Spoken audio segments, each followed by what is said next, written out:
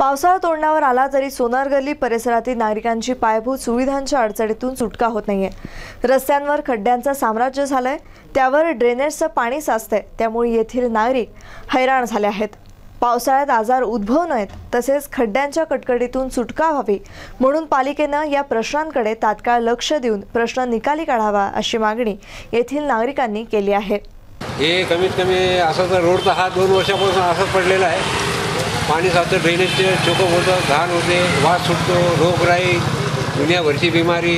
आणि त्याच्यामुळे हा व्यापारी वस्ती असून याचा जो परिणाम झालेला आहे धंद्यावरती परिणाम झालेला आहे. हा, गेल्या दहा वर्षात इथे रस्ता बनलेला नाही आहे आणि हा रस्ता लव- लवकर तयार करण्यात यावा. धंद्यावरती परिणाम. त्याच्यामुळे बाजारात व्यवहारावर परिणाम होत आहे. आणि येणाऱ्या जाणाऱ्यांना त्याचा त्रास होत आहे. या गल्ली कसारी बाजार गल्लीची खूप दुर्दशा झालेली आहे.